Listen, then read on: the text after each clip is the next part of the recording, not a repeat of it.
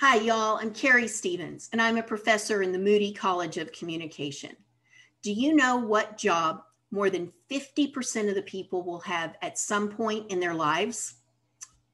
Professional selling. Well, I'm here today to tell you that we have a new offering at UT Austin, and we now have a minor in professional sales and business development.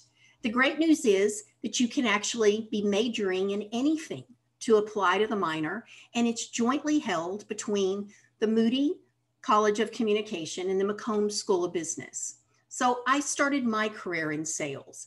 I was a field engineer with Hewlett Packard, and it really shaped me and taught me how important it was to be able to build long term relationships, trust in people, and help people solve business problems. So, if this sounds like something that might be interesting to you, you might be wondering what kind of classes do you take in this minor?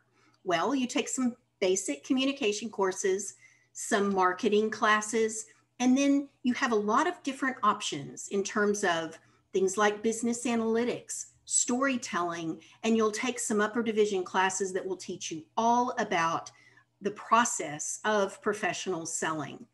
So if this sounds interesting to you, move quickly because we have applications that are due on October 15th in 2020. And then we'll also have applications that will be due in the spring as well. We really hope you'll consider joining us. And you know what? Go get those jobs.